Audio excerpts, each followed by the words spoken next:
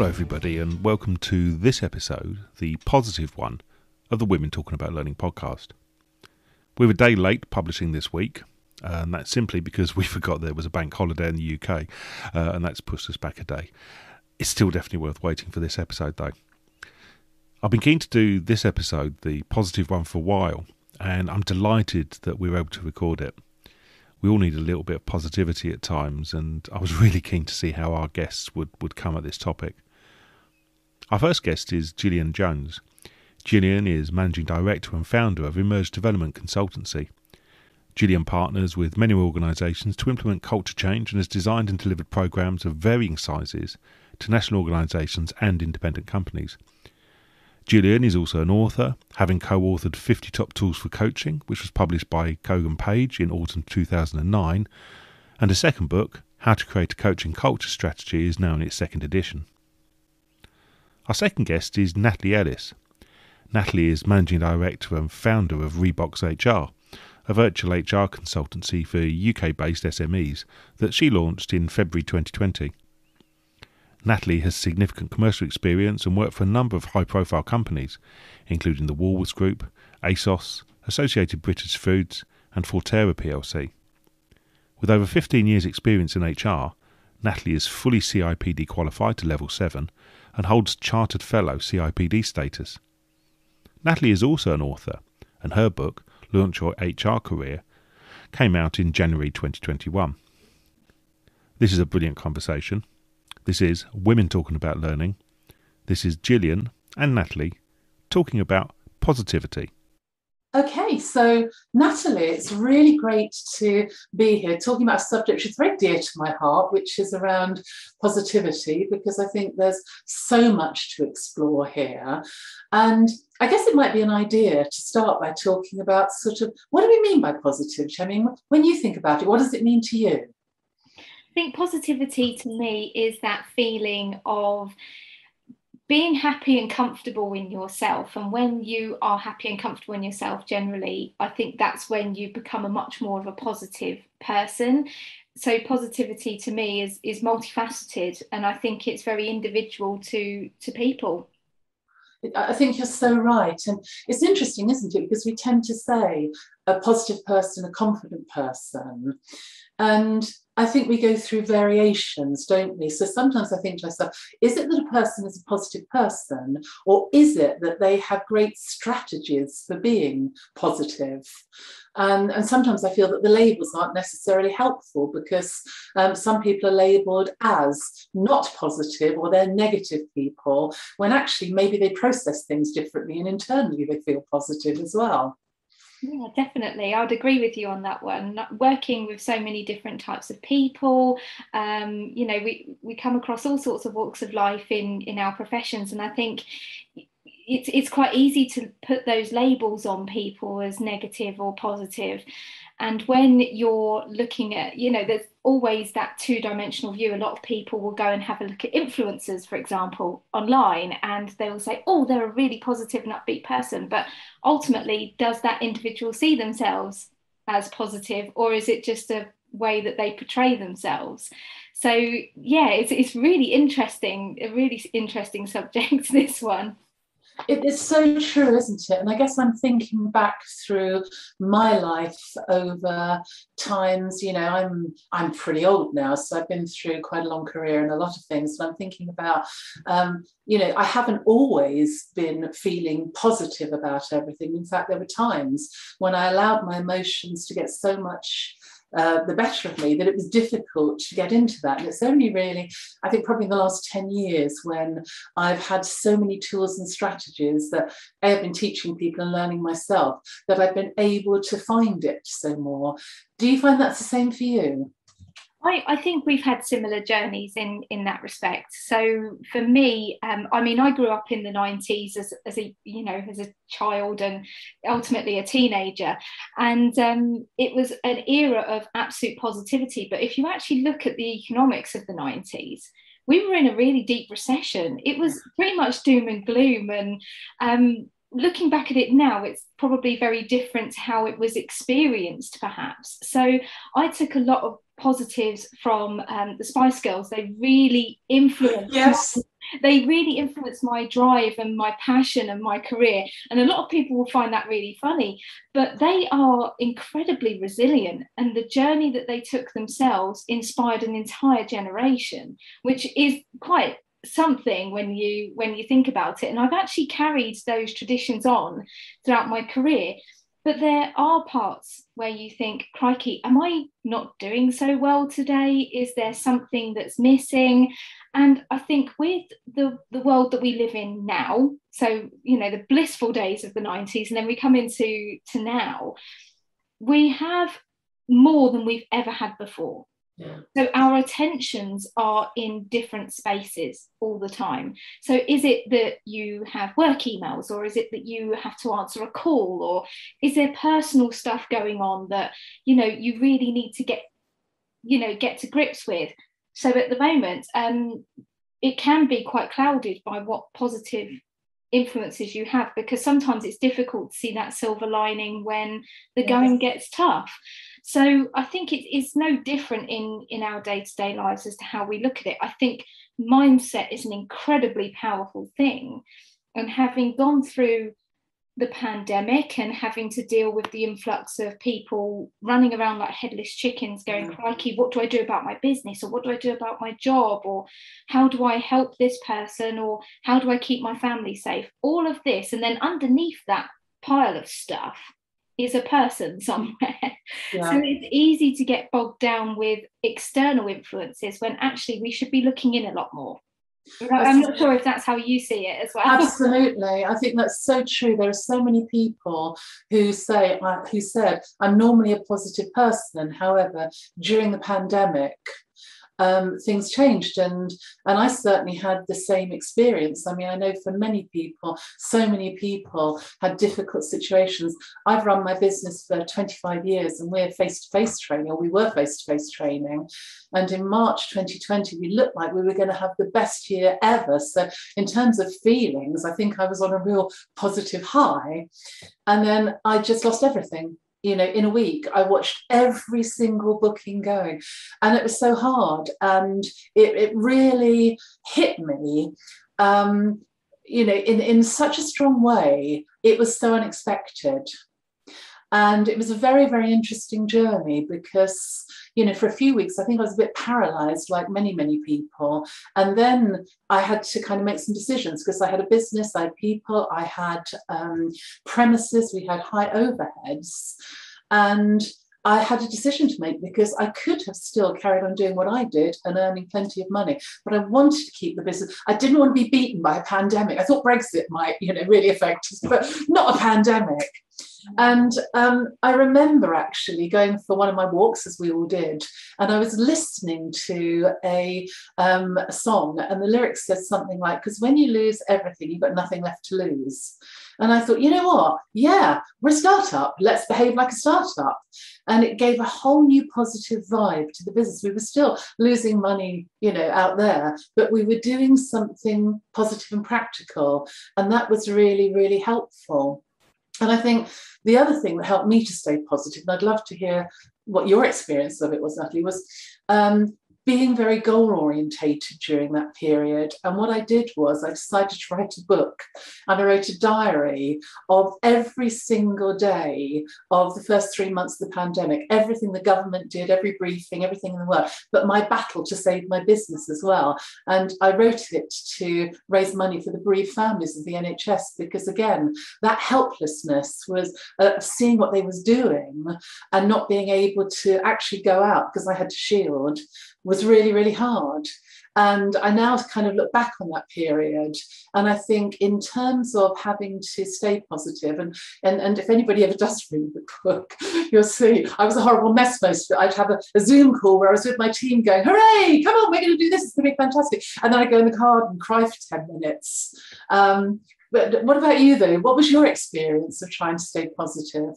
So, following from that, I do actually have a question for you. Is do you feel that, um, given everybody's differing experiences, that you feel that people are a lot more open with their emotions and how they're actually feeling? Do you think it's kind of opened that in a positive sense? Because all we're hearing at the moment is mental health crisis. Yes. There's a strain on the NHS.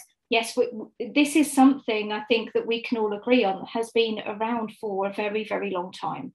This isn't something that, oh no, we didn't see that coming, but the pandemic has accelerated it. So, do, do you think that people are being much more open about actually, I'm not okay today? I think that's such a great question. And, and to a degree, I think the emphasis on mental health has um, allowed people to start to um, have the dialogue and talk about it. Um, I worry that the race back to whatever normality people are going to get back to is now going to be yes, we want to hear about it. Yes, we want to help you be more positive. At the same time, could be productive. And so I think we really need to need to take care because there's still so many transitions going on, isn't there, for people? We're not there yet. We've still got a lot um, to do. And there's still a lot of emotion. I mean, I was talking to a friend the other day who, if you want to talk about positivity, the most amazing positivity, she had cancer, recovered, and now unfortunately has incurable cancer, not terminal, but incurable. Most positive person ever. She lost her mother and she lost her stepfather during COVID, but she still hasn't processed it because she hasn't had a funeral. And I think there's a lot of people out there who need that positivity um, to help them, but also need people to listen to them. And I think this is where, when we talk about positivity, we've got to say we can't all be Pollyanna about this. Sometimes we've got to say, look, it's all right to talk about your experience and if that if you feel that's negative that's bringing people down that's okay because you may not have spoken about it yet i know that was a very long answer to your question no no no i'm just it's that care we need to take yeah absolutely. I'm just interested in your take on it because you have such a diverse background and you work with so many different people um, that i think it would be great to to understand those experiences because there might be people listening today that think actually is it okay for me to open up? And the more we talk about it as, as cliche as it seems that the more people might be willing to say actually yeah I, i'm not i've not been feeling right for a while and perhaps i should have that conversation yeah. with those nearest and dearest to me and having a, personal experience of mine is, and the reason that I started my business two weeks before a pandemic, by the way, which is uh, always a wonderful thing to do, is, um, but I mean, realistic, you know, hand on heart, it's been the best thing that I've ever done. Wow. It's allowed me to have that fantastic balance of positivity. Corporate life um, for me was incredibly stressful and it's high pressure and I'm not saying that all organizations are like that, but I found that it was incredibly pressurizing, not just on um, the time spent commuting, but also the time with my family. One of the things that I've recognized very early on in the pandemic is I'm working a heck of a lot. Mm. And I thought, do you know what? There must be a different way. There has yeah. to be another way. This can't be the be all and end all. And a lot of people say, well, you know, you're going to work until the day you die, um, which is not a positive thing to say. But we can we can laugh about it because you know the pension age is obviously increased and all sorts of things. Um, and I hear it a lot from employees of the clients that I work with. So, oh no, we're going to be working forever but it doesn't necessarily have to be that way. So now um, I'm very much more aware of my own mental health. Um, I have a fantastic family, a very supportive family. I've got two dogs, and the reason I wanted to work from home was because I could stay home with my dogs. I'm finding that I'm taking pleasure in the simple things. And I think once you appreciate, I, I, hate this word being used so flippantly, but gratitude is such a big thing to me. So I have a five minute journal. So you can you can get those online but I, yeah. or you can make your own but i've got a five minute journal and in the morning i list the things that i'm grateful for i also list in the evening what i've taken away and what i've learned for that day for my own development so I think gratitude and appreciation has been a really strong influence for me. I'm, I'm really lucky to have what I have. I've got a home, I've got family, I've got, you know, yes, I can pay my bills every month. It's, but I'm finding that it's about being in the moment and not yeah. necessarily with the stuff that you surround yourself with. So you could have a very nice car, but it's probably been parked up for the past 15 Well, you're absolutely right. And you know, it's one of the paragraphs I wrote in my book. And I do remember watching TVM early on. And this is so shallow, so shallow. Um, and I was watching the presenters there um, wearing a beautiful dress. And I was thinking about all of my dresses up in the wardrobe that I used to wear when I went to work and heels and everything like that. And thinking, will I ever wear these again? And, and I wrote about it, you know, then during the pandemic, it didn't matter how big your house was, it didn't matter what car you had, it didn't matter anything at all that you actually had in a material fashion um, because we were all in the same boat then. Um, but your story is a great one. I think, you know, to start during the pandemic and to remain that. And Ginny, Natalie, your positivity shines through, which I think is wonderful. And gratitude, I agree, is so important. And I think sometimes when we mention the word mindfulness, we talk about mindfulness, people go, ooh, it's like a bit hippie-ish. but again, it's one of the things which for me is so important about positivity because people get overwhelmed and to be able to go outside into a garden and just look around at something and think how lucky I am to do that, to have children, to think I'm blessed with these, or family, or a job that you love, and think about something like that is a very, very good way of grounding yourself, isn't it? And staying um, with that positivity. And I think that, um, you know, when we get overwhelmed, it's the feeling of overwhelm which gets in the way of that. I speak to so many people who say, I shouldn't feel like this because I'm so lucky. I've got this, I've got that, I've got that, but I still feel down and I still don't feel good about it. And so it's trying to understand, isn't it? Where do those feelings come from? And, you know, I don't know, people listening to this might think, well, is it a gender issue? Is it just women? And I think the neuroscience has shown us that women do tend to overthink, women do tend to use emotional ruminations more than men potentially. But I think nowadays it's certainly a big issue for men as well. And I think it's um, something that's being recognised and and trying to get men to talk about when they don't feel so positive is, is, is a big thing at the moment. Yeah, I, I agree. I work with a number of male CEOs. Um, so these are guys that have, um, shall we say, a mask. They wear a mask mm-hmm. day in, day out, um, and they they could be having the worst day, but they've been like, no, no, no, I'm I'm fine. That's always the the thing, isn't it? And I've spoken a lot about men's mental health, um, having lost relatives um, to to their mental health. And the men in my life, um, shall we say that that sounds bad, but my, my dad and my brother and my, my husband, they've all had experiences with mental health, but they don't necessarily have that forum in which to express it. Um, it's, it's something that I think there's still a long way to go, as with any mental health situation. But you you do find that there they're a lot less likely to use the term positivity or mindfulness and things like that. I think it all depends on what influences you have around you and the support network that you have. Mm-hmm. Um, and I think the stronger that is, the better it is for everyone as, as part of that. So, yes, perhaps it is. Um, more likely that women overthink. And a good point that you mentioned about overwhelm was that once you're in that period of overwhelm, that's all you see is yeah. problems. You don't identify any solutions. And it's very difficult to see the wood from the trees when you're in that situation. That's what leads to burnout. And that's what I experienced in 2019, which led to that decision yeah. of me starting my business. And it's it's one of those where you think, am I doing the right thing?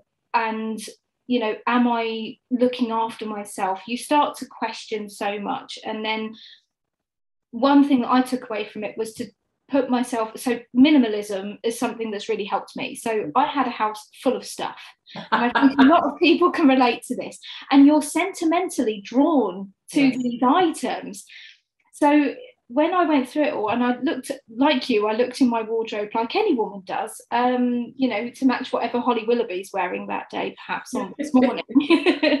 um, and you have a look through your wardrobe and you're like, crikey, um, yeah, I'm never going to wear any of this stuff again. I work from home, I've taken my business virtually. I'm not going to need to go out and about. Comfiness is king. And I sought a lot of comfort in. So, uh, have you ever had any experience with the Danish concept of hygge? Oh, yes. Love that book. That was amazing. That really changed things for me, thinking about how they simplify it down and focus on that comfort and love.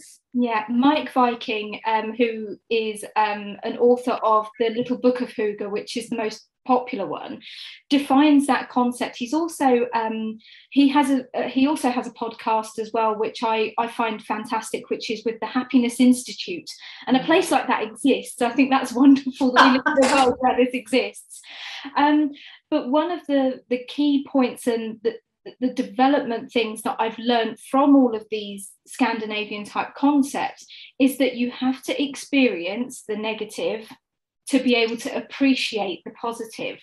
Um, and one of the things I get asked very regularly in my HR capacity is, how do I develop my resilience? Yeah. I'm like, I can't teach you resilience. N- nobody on this earth can teach you how to be resilient. You have to experience that yourself and drive that forward. So um, I'm always very skeptical around. Um, so research and white papers and things like that are, are fantastic. I learn a lot from those things but I, I do believe that resilience is something that is experienced and built upon. So when we're looking at the pandemic, the only thing like it that I can remember in my years of, of working um, was when I worked for Woolworths in 2008. Um, when we hit the recession, everything seemed to be closing down, and it was a very grey period and and I think that the emotions and the mixture of different things that were happening during that time are relative to how we've experienced the pandemic. So anyone who worked through that time, I think, have come through this having yeah. learned experiences from that and then brought it forward into the, the, current situation so i'm not sure if do you think that we need to appreciate the negative oh, sorry experience the negative to appreciate the positive I, I think it accelerates your feeling of positivity. So, having had the negative experience during the lockdown that I had, certainly when I see what my team are doing now and what we're achieving and how business looks, and it's fantastic, there's a real added zest I notice about what we're doing and what we're saying. There's, there's certainly the next level there. But I think you see, negativity is relative, isn't it? Because and and it depends on who you are and how you live. Now, um, I've got mental health in my family. My mother was um, chronically bipolar, and so that's quite hereditary. And it means, to a degree, um, I probably suffered from something called cyclothymia, which is a, a, mild version. And it means that you live your life on highs and lows. So this is a very interesting concept around it. Um, I married a man who who lives his life so it's like, oh, that's nice. Oh dear, that's a problem. Oh, okay, this is good. Oh, that's not so good. Whereas mine is, oh, this is a amazing. I love it. And oh my goodness, my world is falling apart. And I noticed that in my son as well, um, that there is some of that. But we've learned techniques to really moderate that, which has been very, very helpful. So, what some people perceive as negative or positive would be very, very different depending on a person's style and experiences.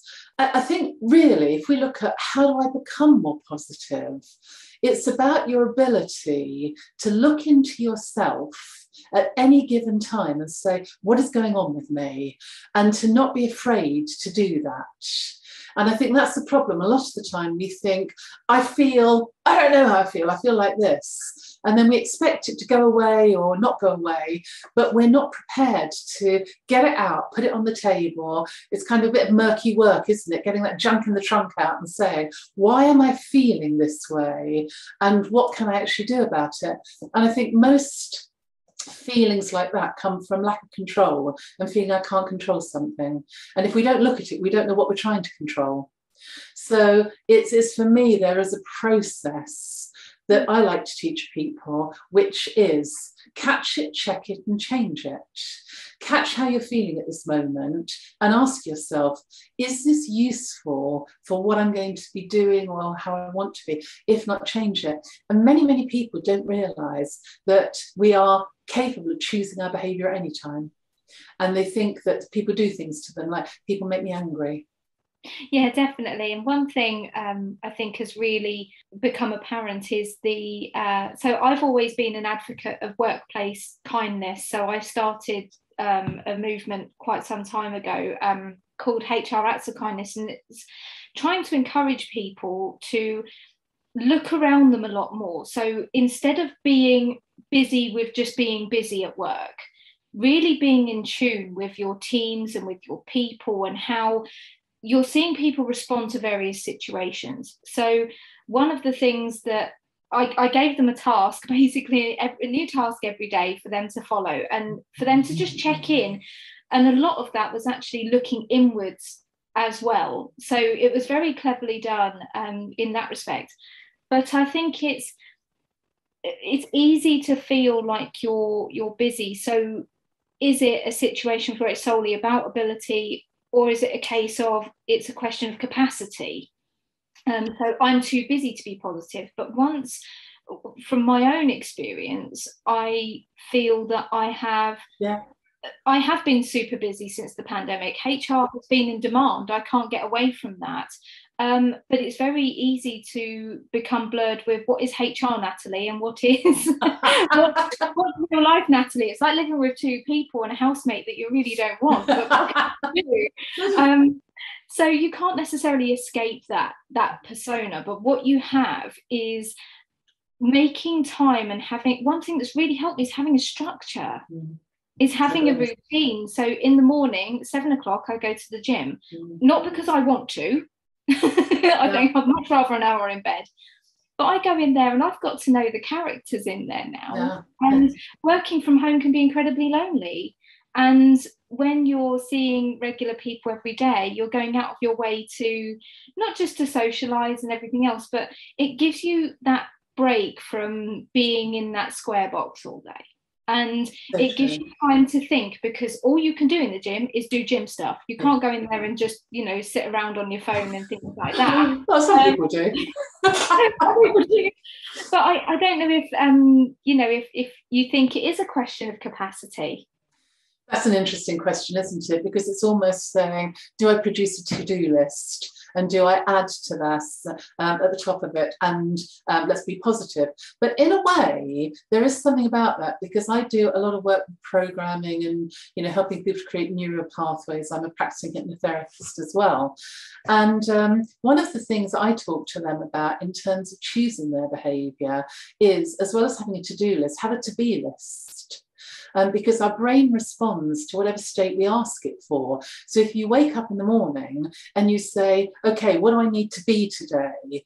And then it will give you that state. And often, if you forget to do that, it's like if you have a really busy day, like you were talking about, and you go down to your desk and you think, oh my goodness, I'm overwhelmed. Look, I've got so much to do. I'm never going to get away from it. Then it's 11 o'clock and you've still done nothing at all. Whereas if you'd already said, what do I need to be today? I need, I need to be positive and productive. It kind of gives you that flow. And people sometimes wonder, why is it some days I can be really, really productive and other days I can't? And so, well, it's because you haven't chosen to be. And it's like, no, it's not that simple.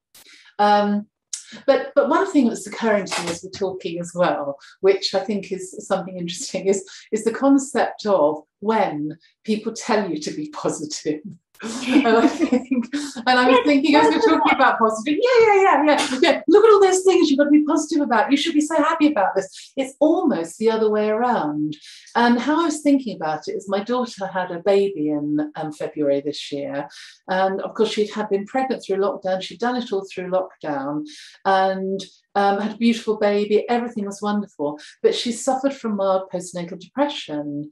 And um, part of the reason I think she suffered is because she was afraid to tell people she wasn't feeling how she expected to feel. Loved the baby no end, there was no question about that, but was not feeling that way. And when she started to reveal that, she started to feel a bit more positive. But the bit which really made it worse for her was when people kept telling her how wonderful the baby was and how lucky she was and you know everything like that. And she's like, okay, I don't feel that way. And I think sometimes when we try and push a feeling on other people and say, well, surely you feel this way because you've got this, you've got that, you've just done that, that it almost makes me think, I better not say any more about this because I'm looking as if I'm really ungrateful. Yeah, definitely. I, like um like you, my sister actually gave birth to um her son in February oh, also. Oh, I became an auntie for the first time.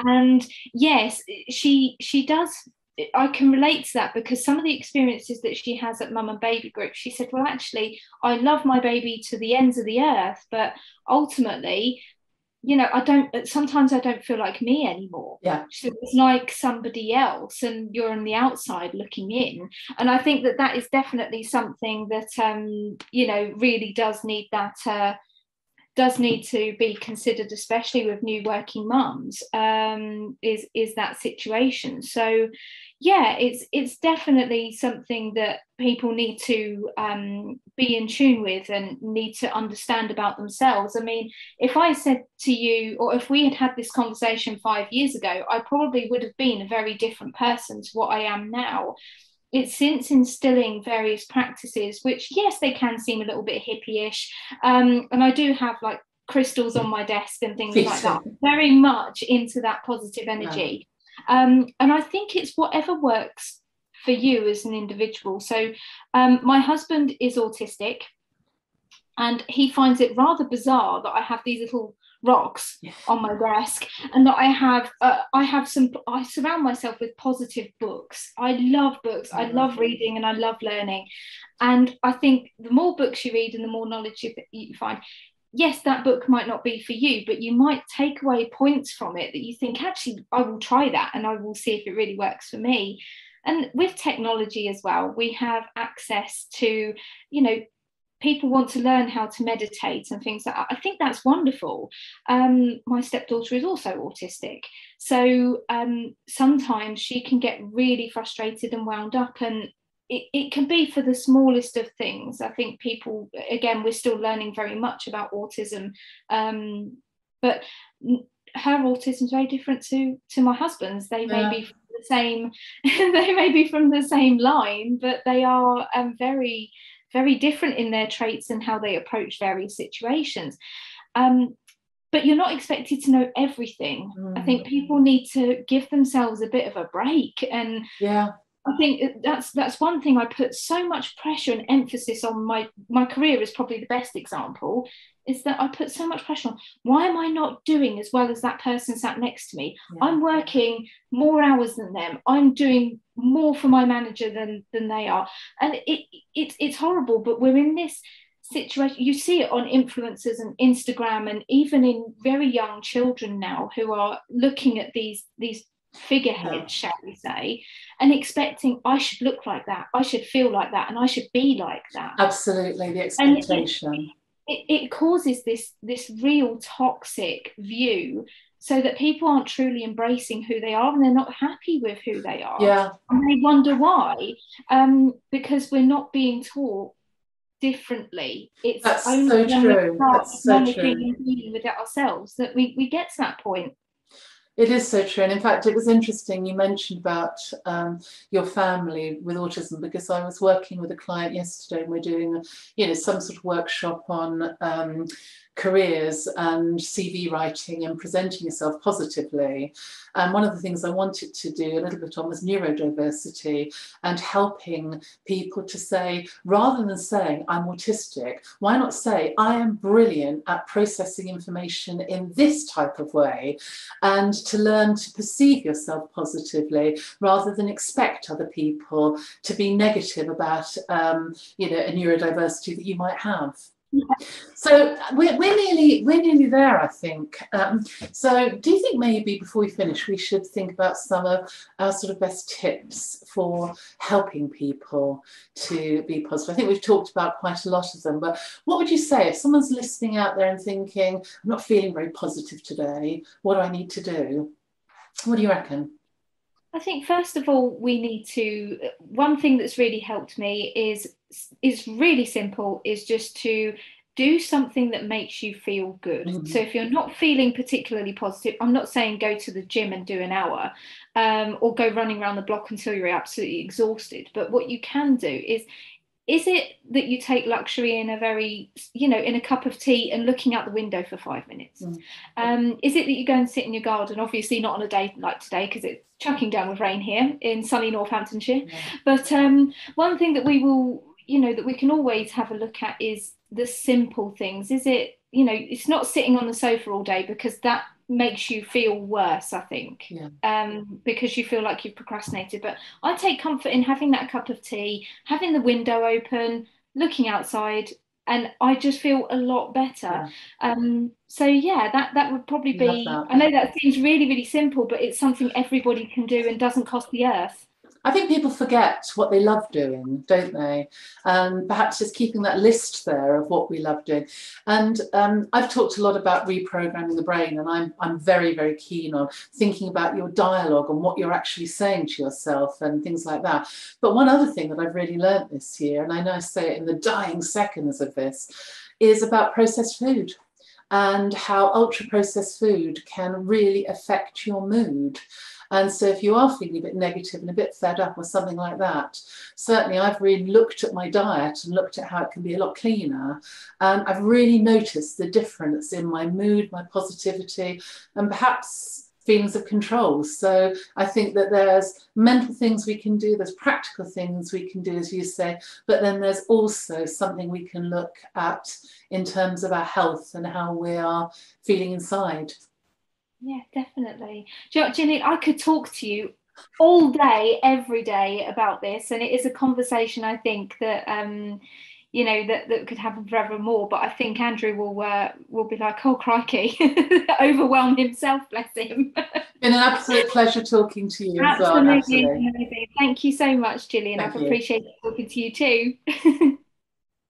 I'm sure I just sound like a stuck record because I get to the end of every episode each week and just think, that was great. it's so true. Gillian and Natalie were just awesome in this episode. I love it when guests take a topic and just roll with it. And I know that I'll be coming back to this one, even if it's just to listen to how positive Gillian and Natalie were in the way that they covered the topic. A massive thanks to both of them again for their time and their input. All the links to the topics that they covered, their profiles, their contact details, and links to their books uh, are in the show notes. We are recording regularly, and we would love to hear your voice. We've got some great episodes lined up to be recorded this week and next week, so please do get in touch if you'd like to be involved. As always, thank you for listening, and we'll see you again soon.